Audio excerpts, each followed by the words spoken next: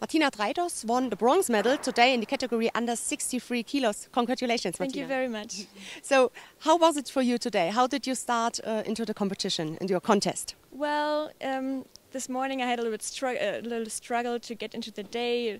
I wasn't sleeping really well, and I felt really tired. And yeah, but I was lucky that I actually did a quite good job today and could always keep my um, Focus. fo- co- always keep my focus on the on the fights. And yeah, so I did the best out of it. Yes.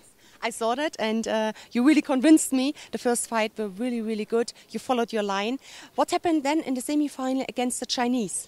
Yeah, hmm, in the Ch- against the Chinese, I guess I was sleeping a little bit in the ground. I felt quite safe, but then actually she ripped out of my arm and I got arm locked. Yeah, part. Yes, and then for the uh, fight for the third place for the bronze medal, uh, you was focused again. Yeah, what what did you do uh, during the break?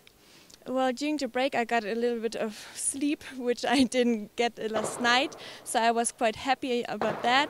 And then I could concentrate again on the fight, focus on my fight.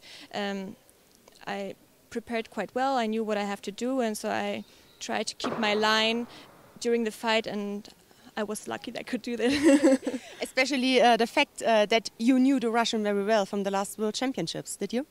well, what does mean very well? She always gets something new, so she's a quite hard fighter. She sometimes she's really strong, and sometimes she's not as strong. I think this year she also did a medal. No, last year she also did a medal at the European Championship, so she's um, a tough fighter.